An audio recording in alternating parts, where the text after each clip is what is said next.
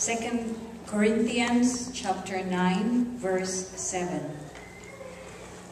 Let each one do just as he has resolved in his heart, not grudgingly or under compulsion, for God loves a cheerful giver. Three things the scripture is telling us when we think of giving. One is resolved, meaning firm in purpose or intent. We predetermine the needs of our fellow believers and fellow men. Second is not grudgingly or under compulsion. These are the two things that have no place in a Christian heart reluctant and forced. The Greek expression rendered grudgingly literally means out of sadness or grief. A grudging or reluctant giver gives from the heart, made sorrowful at the thought of parting with money. A forced giver gives because he feels pressured to do so. Who of us wants to receive a gift from a reluctant or forced giver?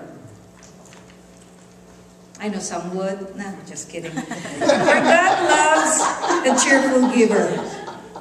That's the third thing. When your heart is overflowing with love and happiness, you can't help but show it. Being cheerful describes the inward feelings and the outward expression of the giver. Tithing was a command under the law. On the other hand, cheerfulness and generous giving is a response to the gospel. See the difference? It is a natural tendency to use the law to correct, to correct the problem. But we must remember that giving, or the lack of it, it is a heart issue. We, if we are not giving in faith and joy, then what's the point of giving? Well, some people tend to give when they are forced or required to because it gives them the sense of security and a feeling that they are earning their way into God's graces, which remind me of a story. Two men were shipwrecked near an island. When they landed ashore, one of them began screaming and yelling, We are going to die! We're going to die! There's no food, no water! We are going to die! The second man leaned calmly against a palm tree. When the first man saw how calm his friend was, he went crazy and shouted, Don't you understand? We're going to die! There's no food, no water! We're going to die! Undisturbed, the second man replied, You don't understand. I make a $100,000 a week. Dumbfounded, the first man looked at him and asked, difference does it make? We're in an island with no food, no water. We're going to die. The second man answered, Dude, you didn't get it. I make a $100,000 a week and I tithe 10% of that 100000 a week. Wherever I am, my pastor will be sure to find me.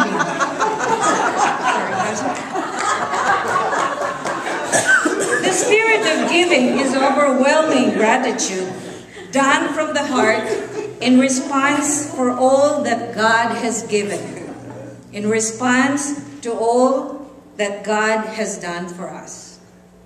We give not because we can afford to give, we give not because we are expecting more blessings to come in in return or so somebody will miss us if we're, when we're gone.